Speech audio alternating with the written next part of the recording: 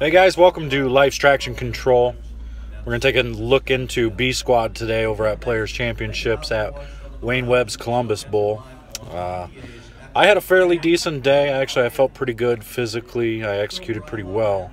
As far as shot making goes, didn't miss any makeables today, which is unusual because lately I've been missing a lot of spares. But uh, today I stayed ahead of it pretty good. Uh, missed a few moves probably left about 50 pins out there because I just missed a few moves off transitions because this was probably the fastest transitioning pattern I've seen in a long time. So uh, just real light volume and it just makes your ball do funny things at times. So it was kind of nice to see uh, scoring pace not be super high, but nothing real low as either. So um, uh, I used a, uh, a a Legion solid to start, which actually looked really good. I started out of the gate 230, 290, uh, and that's when transition kind of hit, and it forced me to open my angles up a little bit and get a little bit further left.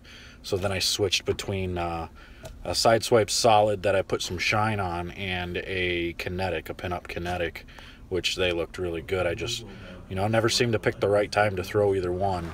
I got nine a lot for 210 and 220, but uh, still put together a pretty decent set at 191 over. So that is 1791 for those who were involved in the contest. I'll take a look at those. No cheating, no editing your answer, or no ed editing your your guess. I'll be able to take a look at that and see any edited answers. So anybody that's edited is going to be disqualified. But other than that, it was a pretty good block. I think I'm sitting inside the top 24 right now. So that's pretty good with uh, two days to go. So we'll see if we can put something together tomorrow. Otherwise, subscribe to this channel so that way you can see updates from all the tour stops and stuff, uh, ball releases and all that good stuff that's going on. And we'll have some random conversations too. So anyway, for that, this is Life's Traction Control.